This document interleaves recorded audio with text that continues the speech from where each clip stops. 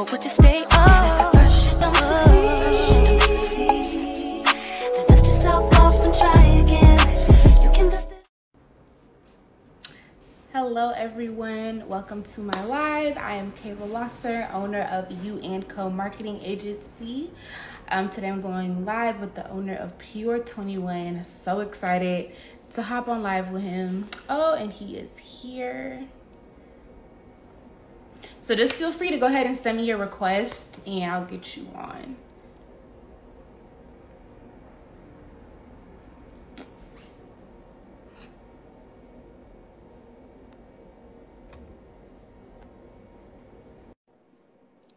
Okay, I just sent you an invite, so you should get it. Hey, Hi, how are you? doing good. Good, good. Well, thank you so much for taking the time to come on live today. Um, I really wanted to start a series where I go live with different entrepreneurs and just kind of talk to them about, you know, the ins and out of their business, you know? Uh huh. Oh my bad, I had to put on the story. I'm sorry. oh, you're fine, you're fine, you're fine. And it's crazy. I actually came across you on TikTok. Um, I had commented under like one of your posts. And I said, Oh, oh. I, I think I know which one you're talking about. The one that went viral and then like everybody was commenting on it. Yeah. Yeah, yeah. So I was like, let me reach out to him and you know see Mhm. what the secret to success is. But Yeah. tell everyone you know a little bit about yourself and who you are. okay, so my name is Tyree Curry. I'm 25 years old. I literally just turned 25 like two months ago, around April, and I'm from Florida, St. Petersburg, Florida, and I stay out in Tampa, Florida. So um, like 30 minutes away from my hometown. And um, the backstory on why I started Pure 21 is um, a long time ago, like back in high school, I was always low key insecure with like how I looked and everything because I people people made me. Oh, I'm gonna say it like this: people made me insecure about myself because like I was different from everybody else, you know. Yeah. So it's like I didn't look like the average person from from my hometown, which is you know from Florida. You know you're gonna see the dude with like dreads and gold teeth and stuff like that, and yeah, I didn't look like that. Yeah, Yeah, yeah, yeah. So I, I I I didn't look like that. So it was just like I was different. So everybody used to say I was this and that. So like, and then I um one day I looked in the mirror and like I was having like these bumps because I was stressing. Like a lot of people was just like picking on me and this and that. So around like 12th grade, I got into skincare, and I remember my sister working at Dillard's um, Origins, the company, Mhm. and I remember uh, she used to bring home like some of the products, and I used to like steal it. I used to go in the shower and like take some and use it, and I was like, wow, like this actually works. Like these bumps I had for like years is going away. So I was like, you know what? Let me start taking care of my self image, and let me go ahead and like really, really, like indulge in it and like really, really take it serious. And like literally, that's what happened with Pure Twenty One literally like I'm so into like skincare. I was like, you know what? Let me start something that can like help another person's confidence because that's not a lot of people that's like confident out there.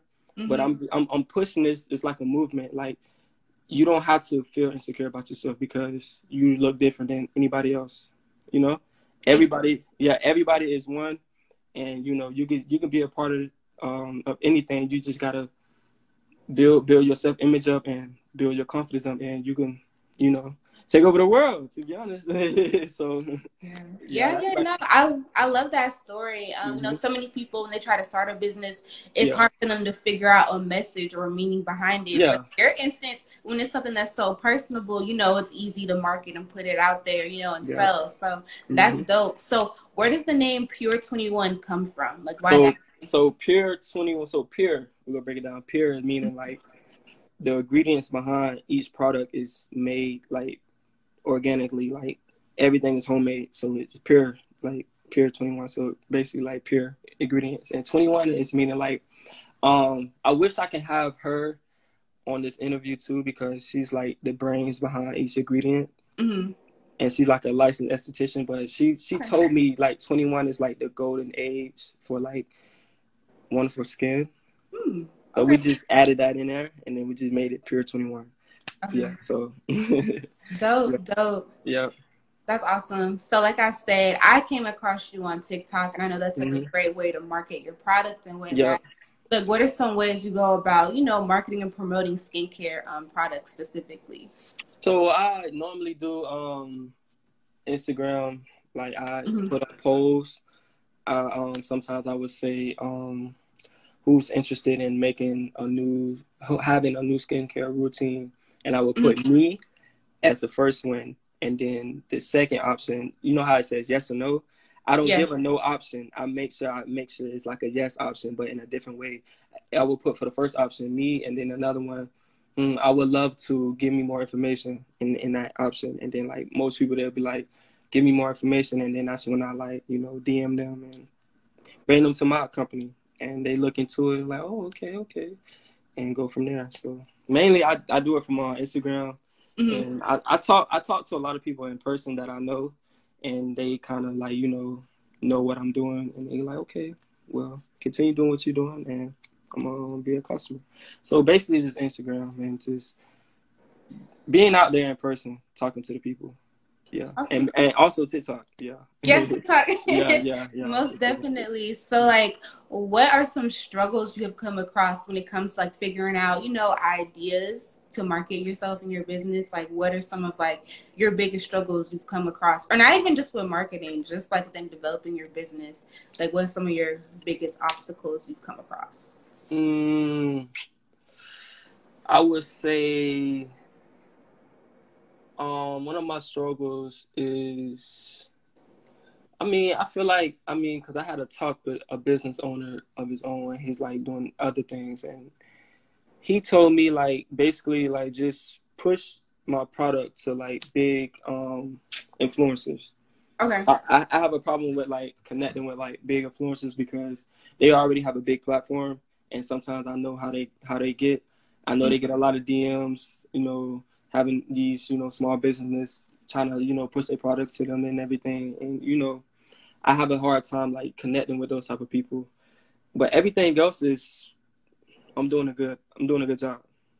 In a That's way. cool. That's good. ba- basically, basically, like just you know, connecting with the right people is kind of like my struggle.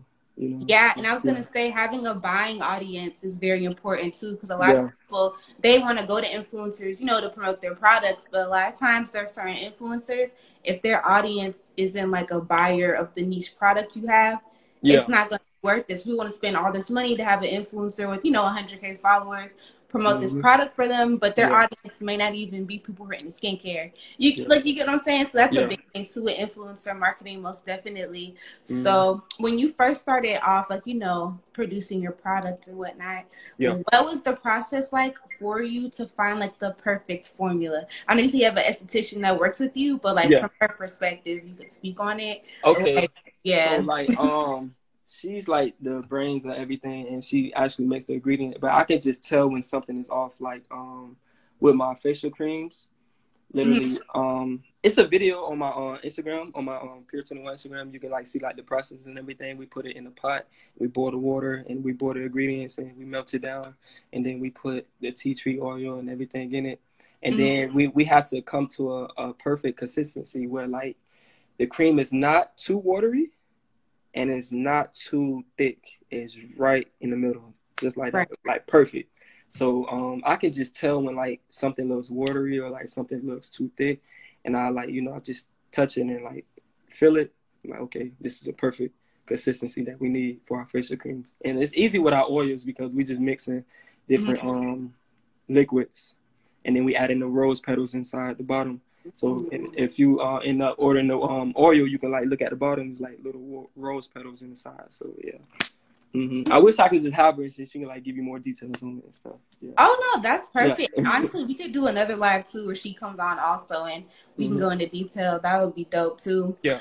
But with um, you know, having products, you know, Mhm. handmade products, you do sometimes get customer complaints because that's a lot to do with quality control. Of so course. If you've had any like, you know, customers who wanted refunds or issues with the product, how do you as a business owner go about, you know, like rectifying that situation?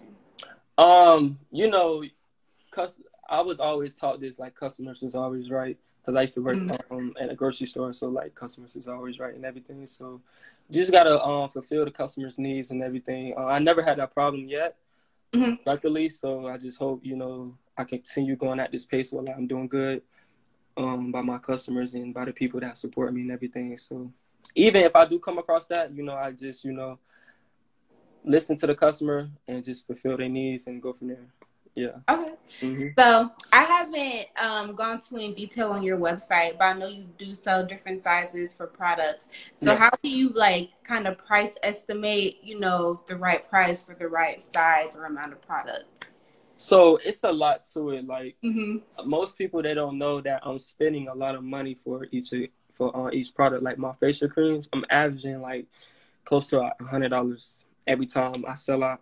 I gotta rebuy more ingredients for it, and like I'm uh, I'm working on something where like I'm gonna just buy everything in bulk, so I don't gotta keep spending money, keep spending money, keep spending money. So that's why I come with my pricing. Um, also like um to make each facial cream like bottle it's cost me about maybe four to five dollars. So that's Mm. why my price point is like thirty dollars because I got it in that margin where like I'm not losing money, but I'm also I'm I'm gaining money and I'm not breaking even. You know, Right. so that's how that's how I come with my prices. Even with my oils, I'm spending about maybe like thirty dollars, and then it costs like maybe two or three dollars to make each bottle. So yeah.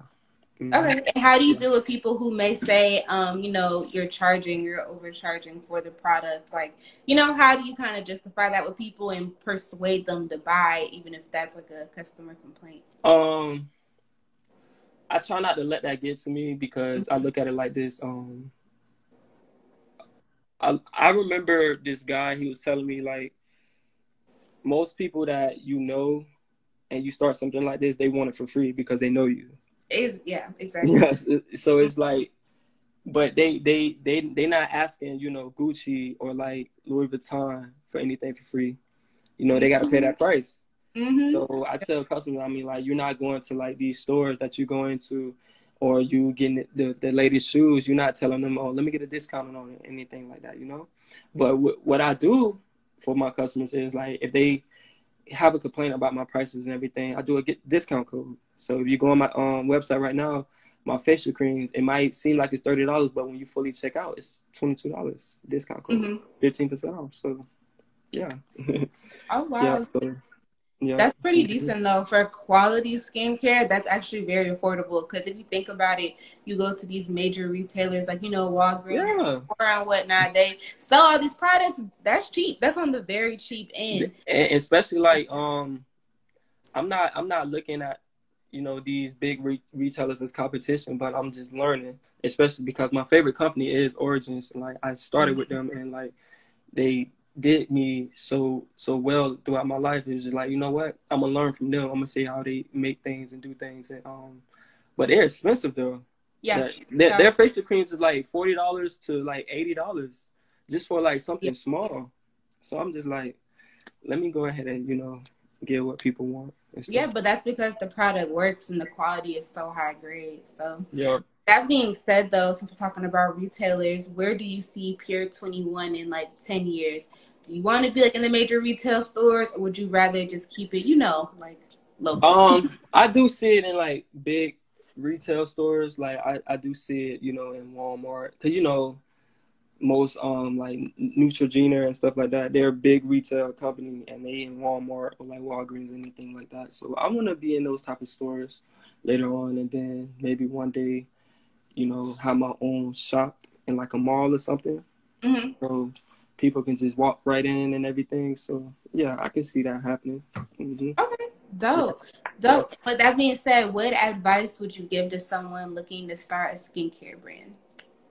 Um, I would say do your research first before investing all your money into it and get you a licensed esthetician to, you know, help you along the way. yeah, Yeah. yeah, no, hmm Yeah, for sure. Um, but those are all the questions I have for Thank today. you. But I would Thank love to schedule another live though, so we can talk with the esthetician though. Oh yeah, of course, of course, of course. Yeah, I, I know, I know, like, cause like she's a female, so of course, like, you know, you want to ask her more and more and stuff like that and everything, and go deeper into that. So yeah. hmm Heck yeah, most definitely. Well, thank you so much for joining today's live, and we'll most definitely be in communication for sure. So I appreciate Thank it. you. Thank you. All right. All right, you take care.